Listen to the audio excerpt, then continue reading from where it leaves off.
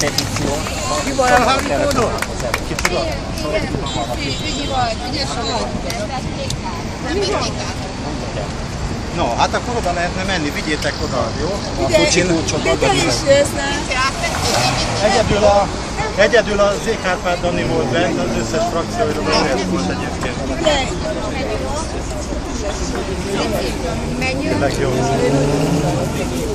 Röviden mondták, hogy mi történt és mi lesz.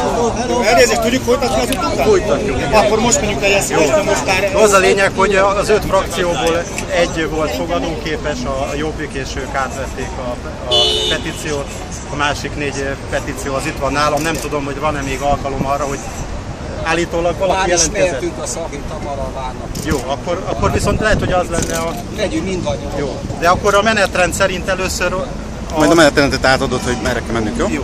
Tehát tovább megy a... Tovább a Tovább megy, Tovább megy, igen. nyomozóiroda, és akkor utána, de én átadtam már a rendezőséget, tehát én maximum egy egyszerű résztvevőként megyek. a- igen, igen. Tovább megyünk? Tovább megyünk, így van, ahogy megbeszéltük, tovább megyünk. A további útvonal. Engem kiszállítottak. Jó jó. jöhetsz, hogyha megengedik. Jó.